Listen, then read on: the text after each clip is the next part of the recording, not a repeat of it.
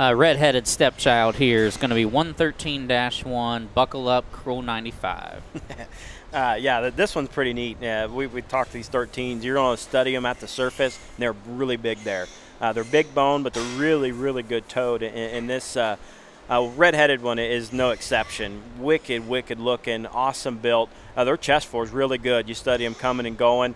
Uh, I love this, this 113 letter. Uh, that that worked really, really well for, for here at the G&S Cruise. So uh, the red-headed one, uh, study in. I don't need to talk her in, in length, but uh, her hip and hind legs good.